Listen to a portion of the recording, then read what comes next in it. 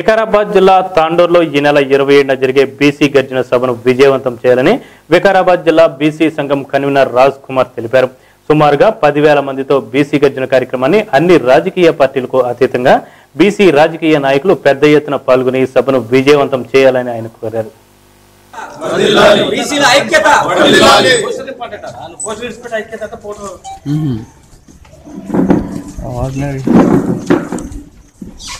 బీసీల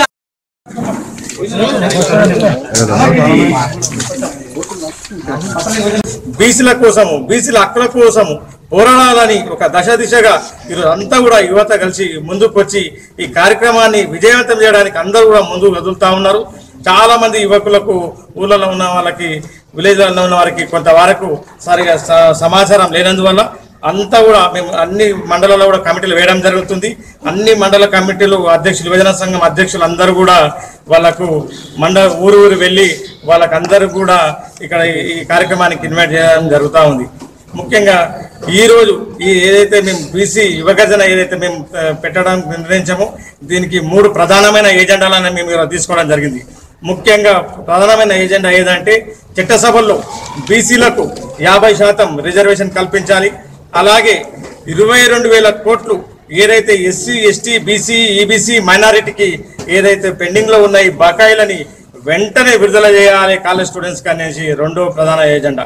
మూడో ఏజెండా ఏంటంటే మరి ఈరోజు రాజకీయంగా కానీ ఉపాధి పరంగా కానీ ఆర్థికంగా కానీ మరి అన్ని రంగాల్లో ఉద్యోగపరంగా కానీ అన్ని రంగాల్లో కూడా యువతకు ప్రాధాన్యత కల్పించాలని చెప్పేసి మూడో ఏజెండా ఈ మూడు ఏజెండాలతో ఈరోజు బీసీ యువక అనేది తాండూరు ప్రాంతంలో తులసి గార్డెన్లో ఇరవై ఏడవ తారీఖు గురువారం రోజు పొద్దున పదిన్నరకు ఏర్పాటు చేయడం జరుగుతూ ఉంది.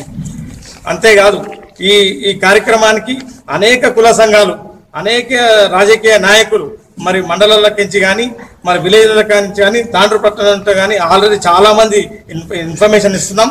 తెలియని వాళ్ళకు మీ ద్వారా పత్రికాముఖంగా కూడా వాళ్ళకి తెలియజేస్తాం.